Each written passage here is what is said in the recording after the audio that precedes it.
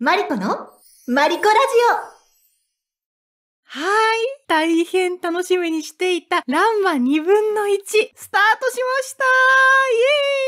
もうね、予告の映像とかね、出演声優さんのコメントとか見るたびにもワクワクワクワクしてたんですが、リアルタイムでね、見ましたよかったねちょっと感動しちゃいました。この後ちょっと2回か3回ぐらいはリピートして、ゆっくり噛み締めてみようかなと思うんですが、今回は見立てほやほや、マリコが率直に思った感想を言っていきたいなと思っております。ですので、ぜひね、ランマ2分の1これから見るよっていう方もそんなにあのねネタバレはあんまりないんじゃないかなと思いますし、まあネタバレっていうほど、あのネタバレがないね、有名な作品ですので、まあそこのあたりも含めて、これからランマを楽しもうっていう方にも興味持っていただけたらなと思っております。それではどうぞ最後までお付き合いください。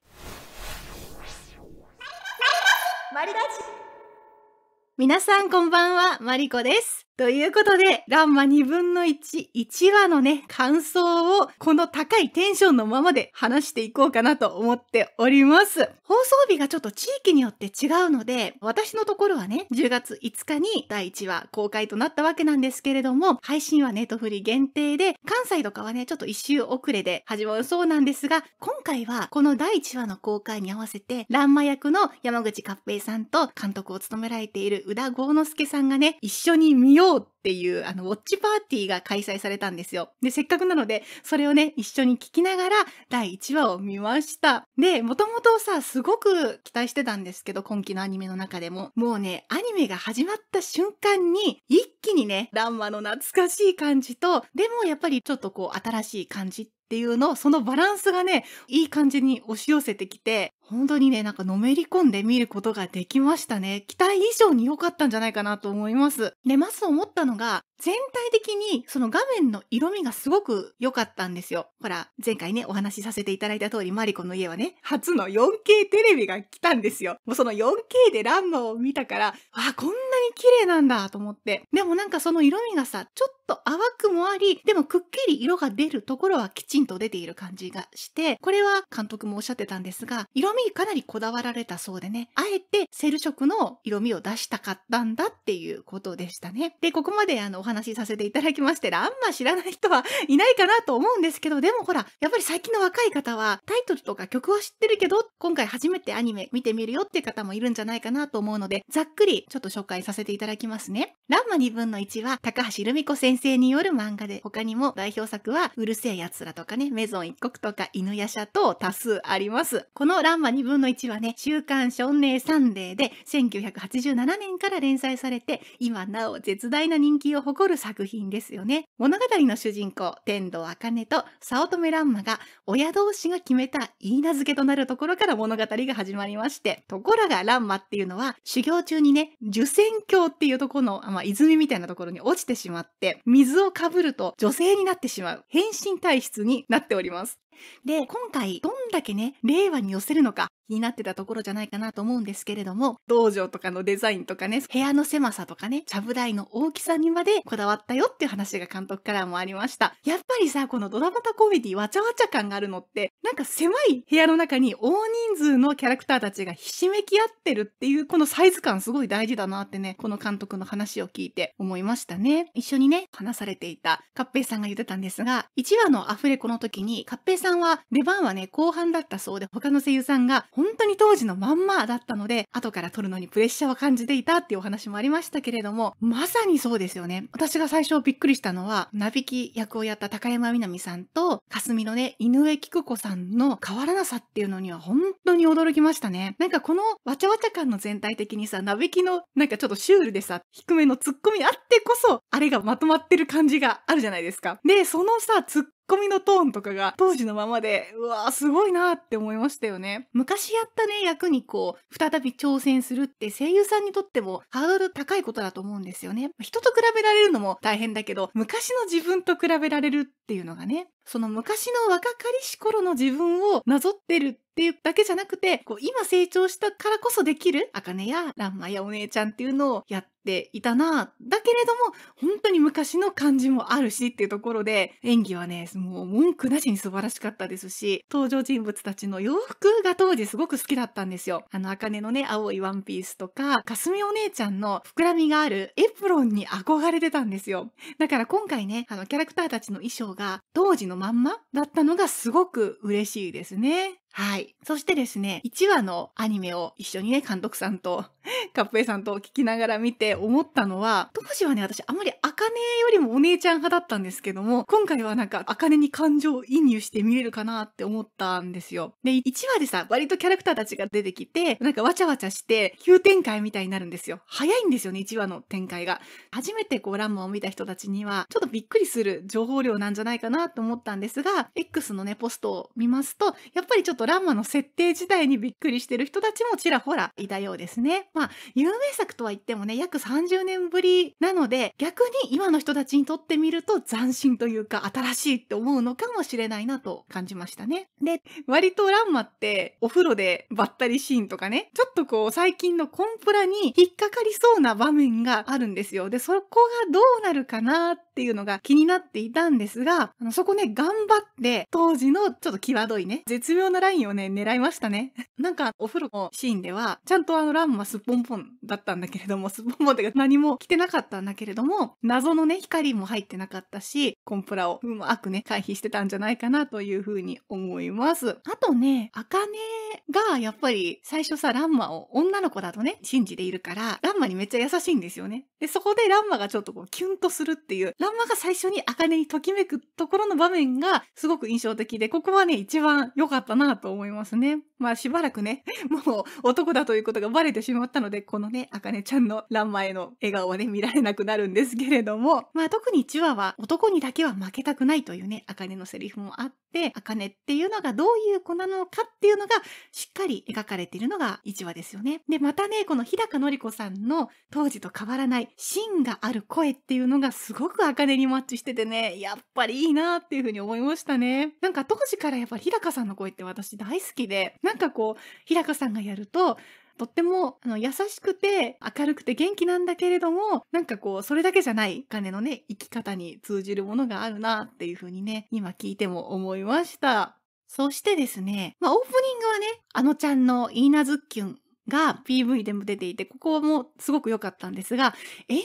グどうなるんだろうなっていうのをねとっても気になってたんですよ。で、私割とランマの曲では、あの、しっとりとしたね、エンディング曲が好きっていうのがあったので、今回なんかちょっとこう、あんまり変わっちゃうの嫌だなって正直思ってたんですが、エンディング曲ね、あの、良かったなと思います。これはなんか、キャストの方もすごく絶賛してたので、あの、まさにそうだったなと思うんですけれども、エンディングテーマは、リリアさんによる書き下ろしの楽曲、あんたなんてというところで、なんとこれはね、CD には、あかね役をやってる日高のり子さんがカバーしたバージョンも収録されてるそうですね。で、このね、やっぱりエンディング曲が、あかね目線の心情がちゃんとこう歌詞になった曲で、まあ、割とね、静かめの曲調と、あと、すごくシンプルで画面に余白があるっていうエンディングになってたんですよ。で、これ割とさ、当時のアニメのエンディングのお決まりパターンだったんじゃないかなと思うんですよね。で、その要素と、だけど令和のちょっとこうポップな感じもね、入っていて、とってもいいバランスだったんじゃないかなと思います。当時のさ、アニメのエンディングって、まあ、セーラームーンとかもね、そうだったんですけど、主人公が歩き続けたりとか、走り続けたりとか、静止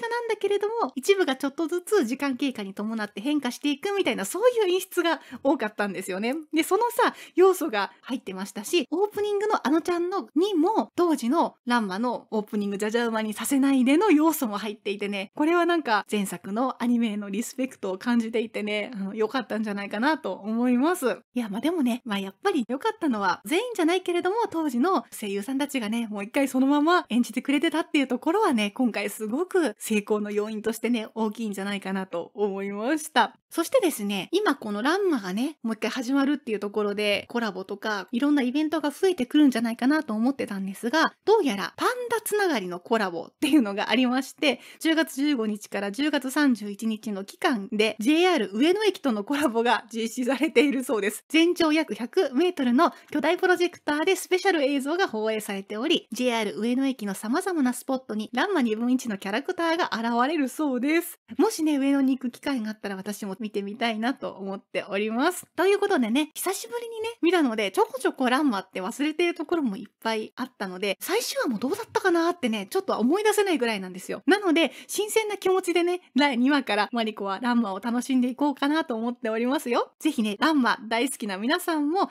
今回初めてね、ランマを見るよっていう皆さんも一緒に秋の夜長はランマ2分の1で楽しんでいきましょう。ということで、今日はね、本当はイーナズッキュンをもちろん流したかったんですけれども、まだね、最新の曲はカラオケ制作してらっしゃる方はいなかったので、えー、今回はこの曲でお別れしたいと思います。今日のエンディング曲は、ランマ2分の1エンディングイコールロマンス。音源はカラオケ歌っちゃおうさん制作の楽曲を使用させていただきます。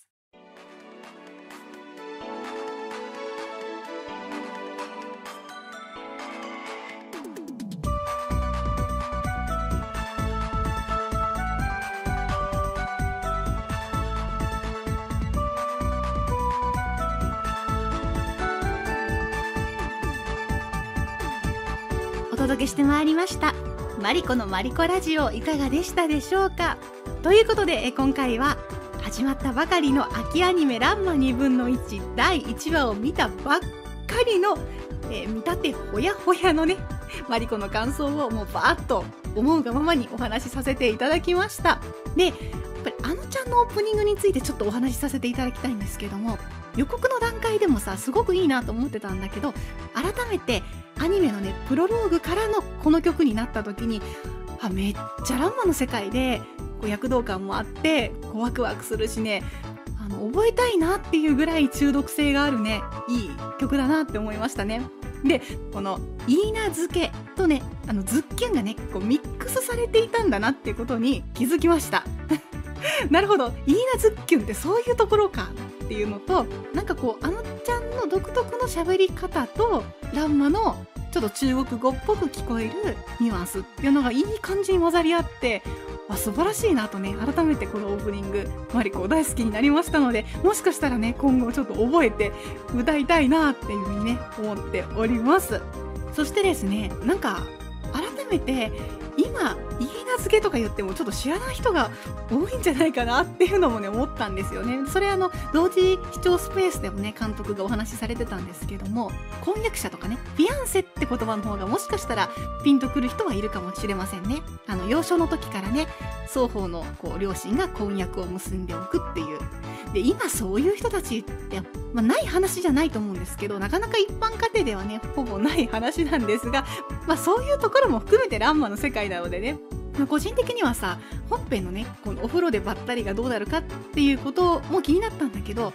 キャラクターのさ中国なまりみたいな言葉あのなんとかあるよみたいなやつが大丈夫なのかなって気になったんですけれどもあのあえてそういうところを変えなかったっていうのもいいんじゃないかなっていうふうにね思いましたね。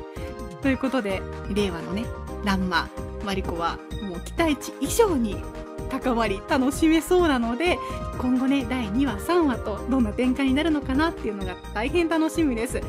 またね秋アニメ全体的なことを語る回や、まあ、中盤、ね、後半戦を語る回でもランマの話はたくさんしたいなと思っておりますのでぜひ、ランボを見た方どうだったかね感想をマリコに教えてもらいたいなと思いますあと初めてランマを見たよとかいう人のね感想どういうところにこう斬新さを感じたとかねあのここはないなって思ったとかねそんな話も聞かせていただけたらなと思っておりますのでぜひマリコラジオ宛てにあなたのお声をお聞かせください。ということでマリコラジオでは引き続き皆さんからのお便りをお待ちしております。宛先はマリラジ専用お便り投稿フォームマシュマロもご用意しております。各 URL は概要欄をご覧ください。YouTube へのコメントも大歓迎です。そしてマリコラジオを応援してもいいなと思っていただけたらチャンネル登録高評価もぜひよろしくお願いいたします。それではまた木曜日の深夜にお会いいたしましょう。お相手は私マリコでした。お聞きいただきありがとうございました。